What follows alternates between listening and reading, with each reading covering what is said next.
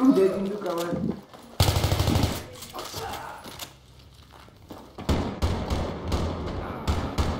Oh, holy shit.